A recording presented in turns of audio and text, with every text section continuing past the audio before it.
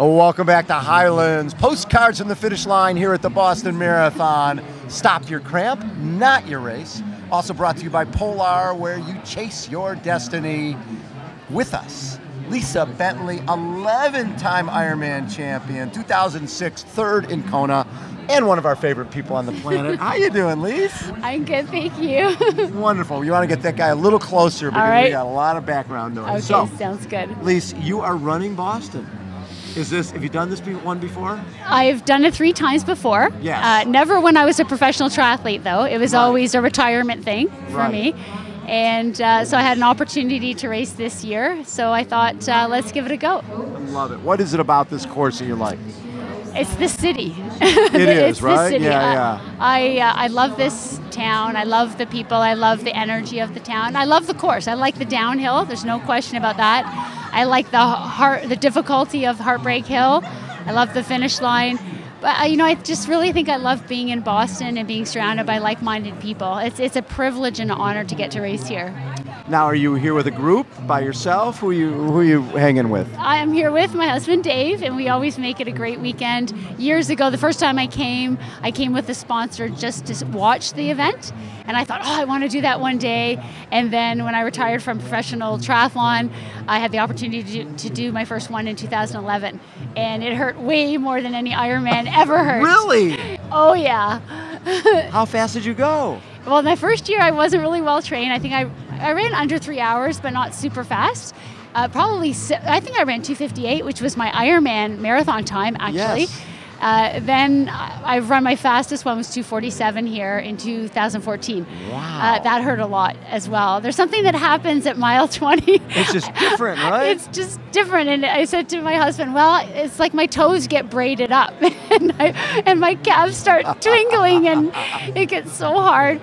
But uh, it's, it's worth it in a sense, like to be here. Uh, I don't think I'd be able to come to Boston without doing this run. So, 20 years old, you get diagnosed with cystic fibrosis.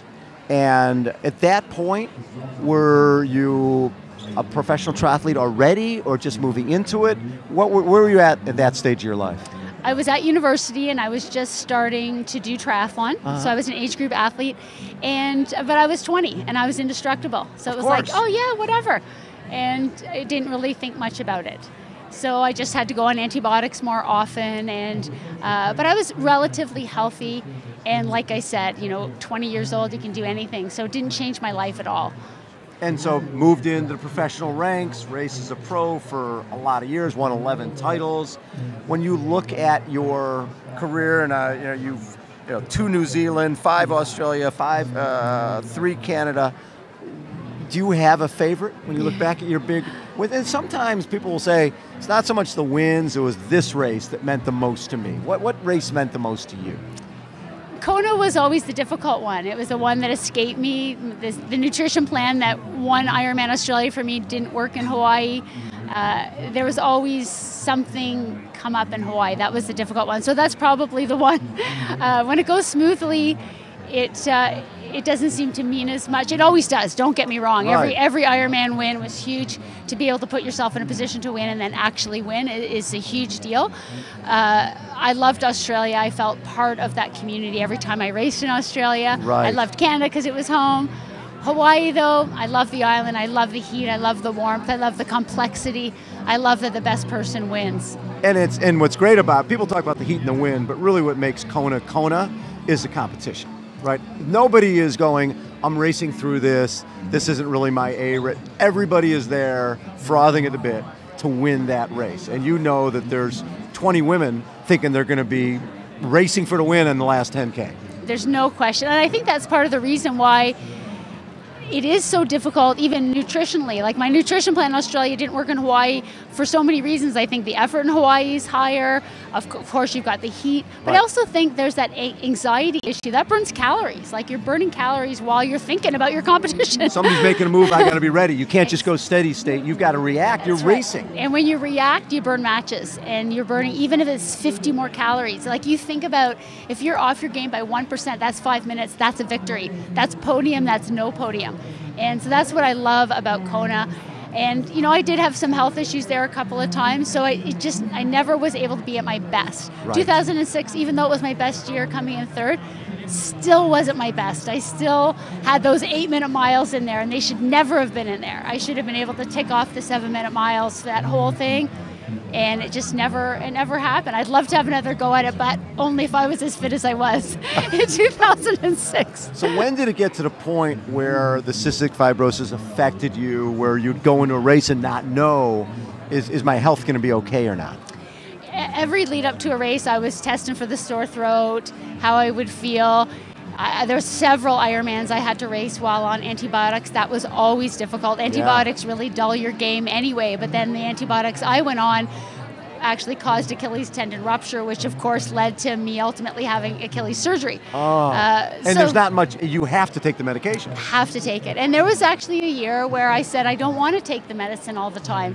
I want to try to fight it. And that was actually the year 2009 when I kept getting sicker and sicker, and my lung function went from 100% to 56%. 56%. And, and you're ra- it's not like you're going out and running an age group race. You're racing against the best people in the world. And that was a tough year. And I mean, think about 56%. 50% is one lung. Right. So uh, that was when I ended up retiring for many reasons. I was 40 and there were other things I wanted to do. Sure. So it wasn't a terrible time. It was actually fine. Uh, but my last race was uh, Subaru Ironman 70.3 Muskoka, and I was coughing up blood in that race. And and of course, a lot of people would say, "Why did you race? You weren't well enough." But that's what I always. I look back on it and I say I say to myself that I I have cystic fibrosis. It's who I ha- am, and I always tell people to embrace your deck of cards. Whatever you that, got to deal with, you're dealing with and that yeah. was what I had to deal with. And so it would be a disservice if I didn't do the best I could with my deck of cards. Right. Now, certainly, I knew I wasn't putting my health in danger. I could modify pace. Hey, I could only go as fast as I could with the lung capacity that I had. Right. Uh, but you know, I always say you do the best you can with your deck of cards. If it's a bee sting, if it's a sunburn, if it's cramping, you do the best you can. So that's why I did that last race, and I'm glad I did it. And I finished the race, and I did the best I could, and you then I could walk away. I walked away and went to the hospital and went on intravenous. oh, did you really? a few months later, they tried oh a few. God. They tried a few other courses of medicine. Yes. Uh, and uh, so my last race was September 2009, and I was uh, admitted to hospital in January 2010, and uh, was on antibiotics for five weeks. So what so, is the lung function now? I'm probably around 80 to 85%. I seem to hover around there. Yeah. Uh, I had a collapsed lung last summer, so that kind of took. I like how you sort of like casual. I had a collapsed lung last summer. yeah. well, it came on pretty quick. A week prior to the diagnosis, my uh, lungs uh, in X-ray were completely clear, and then a week later, I was having trouble breathing and some pain down my arm, and it lasted a couple of days, and I thought I better go get an X-ray, and sure enough, uh, it came back that it was a collapsed lung. So about a week later, they went in and tried to get rid of the the uh, mucus that yes. was blocking it. And that was a horrific procedure. oh my God. but anyway, it came out and literally it just reinflates. Boom. And yeah. back to normal. So once you retired, what did you want to do? What were you, did you want to get into coaching? Did you want to get into motivational speaking? What was the next path for Lisa Bentley? Well, I wanted to do everything. Of, of course, course, you did. Yes. uh, I love motivational speaking, so I'm doing more and more of that. Uh, I was fortunate I got to speak at the Titan Summit in Switzerland last year, which was extraordinary with wow. Robin Sharma. Uh, so I hope to do more speaking. Uh, I love coaching, so I am coaching. I'm doing some uh, representation works for some professional athletes, so I love oh, that. Oh, nice. what athletes? Uh, I work with Alicia Kaye and uh, Brent McMahon, Jarrod Shoemaker, and Magali Tisseyre. So I've got a nice little crowd. You have a great group. Wow, and, and a few Canadians yeah. in there. So I love I love that because I did my own sponsorship when right. I was an athlete. So for me, it's so normal to be looking and saying, "Hey, that's a great fit."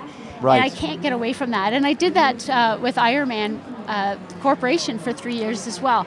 Uh, I don't do it anymore, but yes. I did. So I, I, actually I love the representation work. I love the coaching, of course. Right. I love the speaking, and I was supposed to write a book.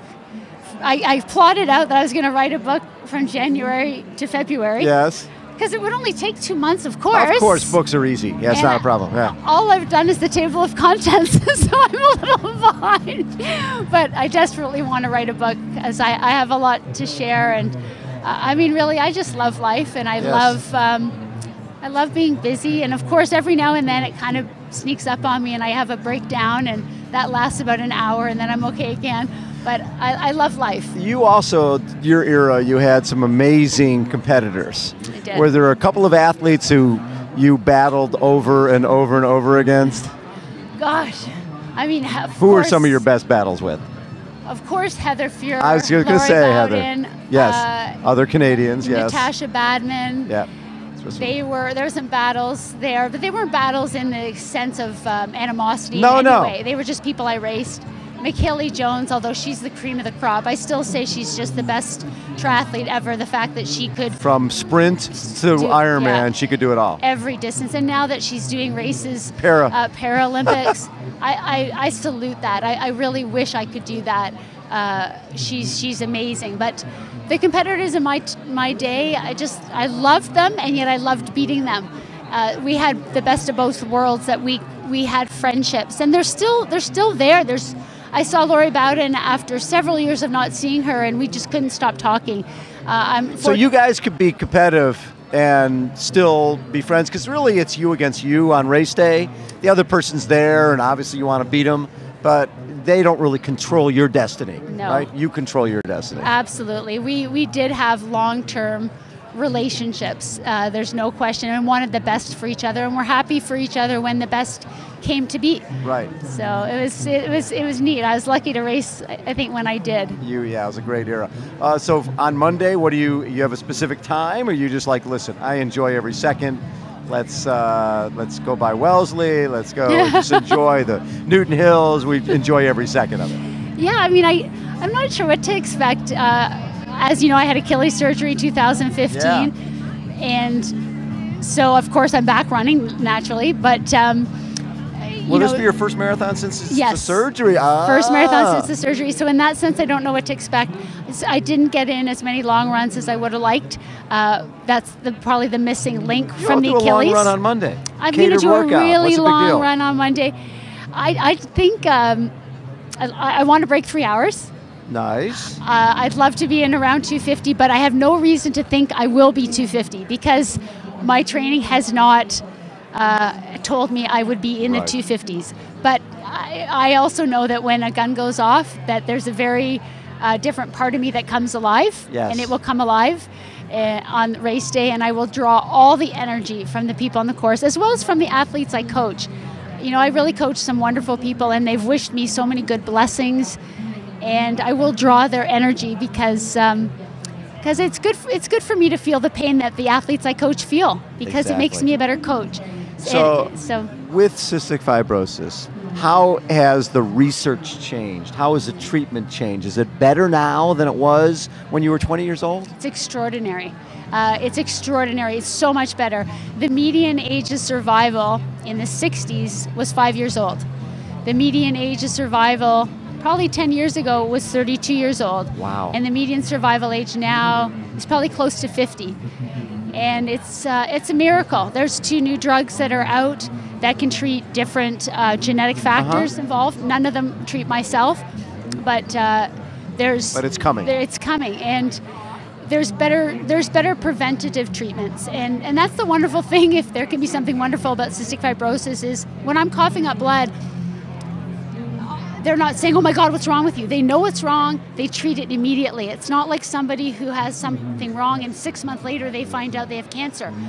I, I have a condition and they immediately know what they need to do so they can act on it so I don't get the damage that other people get. While they're trying to hunt and figure out what it is. Exactly. So my lung damage is, is so minimal at this stage and That's great. and so I'm so lucky and other people with CF are so lucky. So there's so many preventative things that are out there and uh, so yeah it's it's good I'm not I'm not worried as I turn 50 in a couple of years I'm not worried that um, that my life's gonna end But my I'm life's just gonna I'm- keep going I'm sure there was a point when you start looking at those numbers where you're going, I better enjoy every minute because I don't know. Right? Yeah, you, you never know. But none of us do. No, you never know. And uh, I know just from the time that I had the lung function go down so drastically that when you don't stay on top of it, that that's the sort of thing that Sure. happens. And my doctors don't ever let that happen. As soon as, you know, last year my lung function dropped to about 70%, they were immediately talking about intravenous. They weren't going to let it get down to 50. And when I had the collapsed lung, they they weren't going to let it sit there. They said, You're healthy enough, we can do this procedure. It'll be hard on you, but we're going to do it. And so I went in and had the procedure done. So they, you know, they don't wait around and say, Oh, let's see if you can cough it out. No way. They gave me a couple of days to cough it out. It didn't work. I was in the hospital getting it taken care of. Love it. hey, Lise, thank you. What, I love is the fact that you've always, you've never hidden. Right? You're dealing with something, and it's important for people to know that a world-class athlete, for somebody sitting at home who's struggling with cystic fibrosis, to know that you were at the top of the totem pole, that you won 11 titles, dealing with that disease, that goes so far for people getting through just their day-to-day, don't you think? Yeah, I mean, it's it's all about overcoming adversity, Right. And being the best you can be with your deck of cards, and just saying, hey, you know, like it's just be you, Right. be you. Don't try to be somebody else. Be the best you can be. Take care of yourself. It doesn't mean walk around and get sick and, Right. and woe is me. You just gotta like do what you can. So you know, on sun, on Monday, if my lung function's 75%, I'm gonna run the best that I can, and that might be 302. And if my lung function's 100%, then maybe I'm gonna run 240. You know, like I don't know, but um, you know, I'm gonna use every breath that I have. I love it. Lisa Bentley has been our guest. Thanks, Lisa. Always, always a pleasure. Thank you. All right, again, this is Postcards from the Finish Line, and we are brought to you by Highlands. Stop your cramp, not your race. Also brought to you by Polar. Chase your destiny. Hold on, everybody. We will be right